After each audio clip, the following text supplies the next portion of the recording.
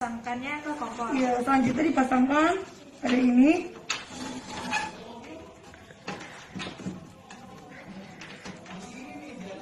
Sampai benar-benar kencang. Terus sudah kencang, baru kita nyalakan. Ya, jadi di sini percobaan kita berhasil.